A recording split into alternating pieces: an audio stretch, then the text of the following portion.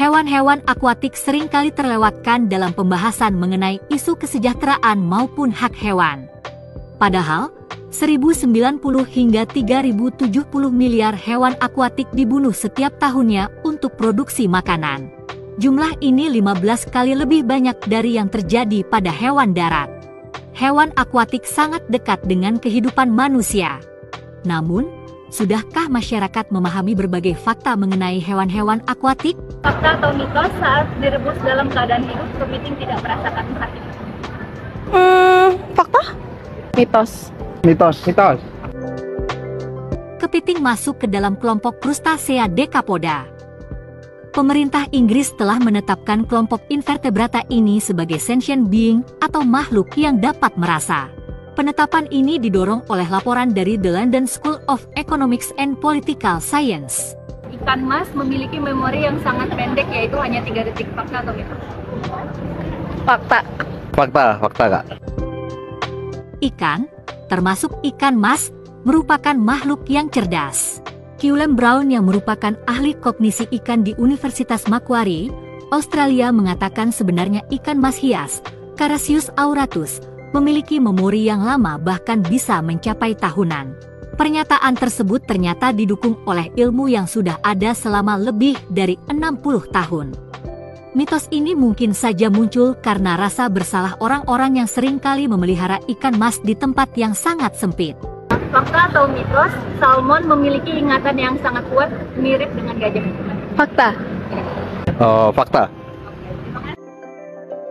Salmon dapat mengingat rute beberapa ribu kilometer panjangnya, meskipun mereka hanya melewatinya satu kali. Fakta atau mitos, gurita dan bintang laut dapat menumbuhkan lengannya yang terputus. Fakta.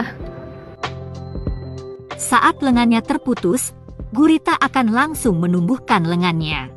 Proses tersebut akan dimulai dengan menumbuhkan jaringan saraf di bagian dalam hingga tentakel pengisap di bagian luar.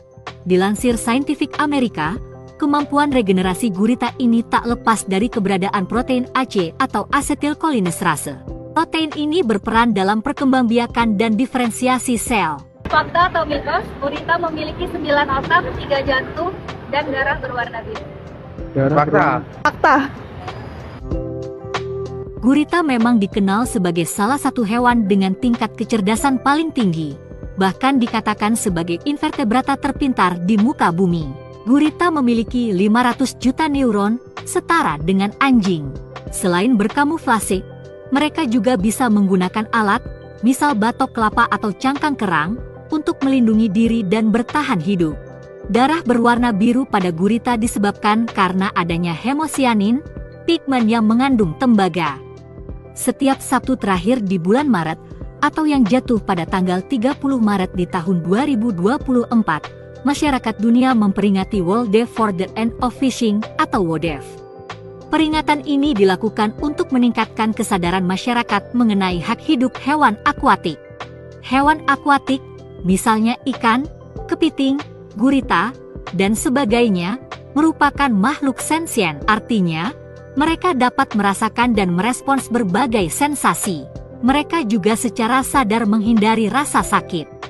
Hewan akuatik mungkin memiliki rupa yang sangat berbeda dengan manusia, tapi bukan berarti mereka tidak bisa merasa dan menderita.